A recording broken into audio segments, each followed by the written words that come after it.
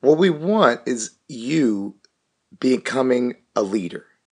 Being a leader means having followers. Somebody can be really, really amazing, and another person could be really, really awful. But if the first person has no followers and the second person has a ton of followers, the second person is a leader. Providing a template for people is a good start.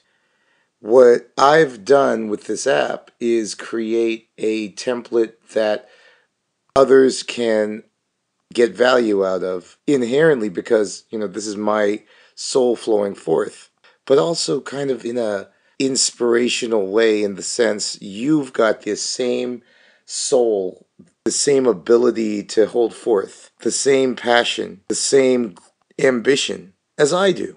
It's my recognition of that that makes these videos worth creating. And it really hurts to not be listened to. If you don't feel like you're being followed and you feel like you're expressing leadership, you clearly need to work on the template that you're providing others.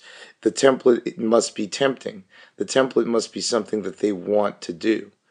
For instance, I've started becoming a musician because I saw the templates provided by Jimmy Page on Led Zeppelin. And I was like, okay, that sounds cool, and I want to do that.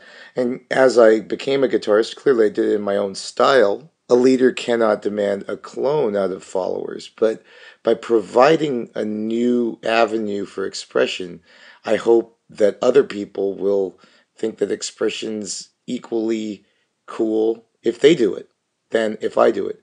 I'm kind of trying to make you not so much of a consumer. I want you to be a creator. And I think that's the big problem that I need to address. Cool.